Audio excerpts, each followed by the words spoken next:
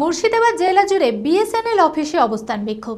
BSNL employees union ও AIBDP এর পক্ষ থেকে ধর্ণা ও অবস্থান বিক্ষোভ চলছে মুর্শিদাবাদ জেলায়। বেশ কিছুদিন যাবৎ জেলায় বিএসএনএল এর বেহাল পরিষেবা। অন্যদিকে, কান্দিতে এসডিইও, জেটিও আধিকারিক না থাকার কারণে অফিস পরিচালনায় অসুবিধায় পড়তে হচ্ছে কর্মীদের। অবিলম্বে সকল সমস্যাগুলির জন্য উপযুক্ত ব্যবস্থা গ্রহণের দাবিতে এই বিক্ষোভ অবস্থান বলে জানান বিক্ষোভকারীরা। বেশ কিছুদিন যাবৎ জেলায় বিএসএনএল এর বেহাল পরিষেবা। জেলার বিএসএনএল গ্রাহকদের কাছে পরিষেবা পৌঁছে দিতে এবং নিজেদের কর্মক্ষেত্রে প্রয়োজনীয় সরঞ্জামের দাবিতে বৃহস্পতিবার মুর্শিদাবাদ জেলা জুড়ে বিএসএনএল অফিসে অবস্থান বিক্ষোভ। বিএসএনএল এমপ্লয়িজ ইউনিয়ন এবং এআই বিটিপি এর পক্ষ থেকে ধর্ণা ও অবস্থান বিক্ষোভ চলছে মুর্শিদাবাদ জেলায়। এক বিক্ষোভকারীর অভিযোগ, জেলার অন্যতম শহর কান্দি।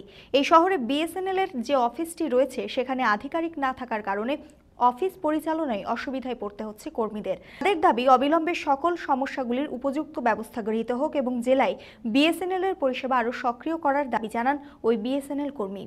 এই যে আমাদের টেলিফোন এক্সচেঞ্জে মুর্শিদাবাদের বেহাল অবস্থার জন্য আমরা তিনটে ইউনিয়ন একত্রিত হয়ে আমরা কালকে থেকে ধর্মঘটের পথে নেমেছি। আমাদের অনেক অভিযোগে কান্ধিতে দীর্ঘদিন ধরে এখানে বলা সত্ত্বেও আমাদের যে আধিকারিক আছে টিডিএম আর বাবু ওনাকে বলে বলেও আমাদের এখানে এসডি এবং জেটিও পোস্টিং থাকা সত্ত্বেও এসডি এবং জেটিও এখানে দিচ্ছে না।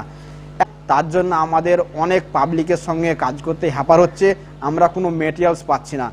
যে সাহায্যে আমাদের কর্মচারী আজকে কাজ করবে, কারণ হ্যান্ডসেট নেই ড্রপ নেই কানেক্টার নেই ইউজি কেবিল নেই আমরা পরিষেবা দেব, জনসাধারণকে সেই পরিষেবা সেবা দিতে পারছি না।